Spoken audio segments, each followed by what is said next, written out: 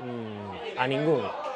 E o partido con máis goles, estivemos en todos os empates a cero, pero bueno, tamén estivemos neste partido no que houve moitos goles, Vilalbés e Alondras, resultado final, victoria do Alondras por dous goles a tres. Os dous tantos do Vilalbés, marcados por Nico, tivo que remontar o Alondras na segunda metade, este, bueno, daquela maneira, un pouco de fortuna, pero vale igual, e aínda na primeira metade marcou O 2 a 1 a Londras, con esta cabezada de Álvaro Casas. Bomba. O gol abaixo. Despois chegaría o tanto de Nano. Xa repetición do gol de Casas. Despois o gol de Nano. E por último, o tanto marcado por Johnny.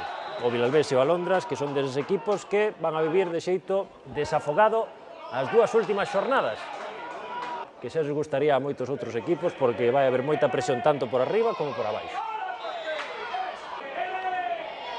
Pois ata aquí... A...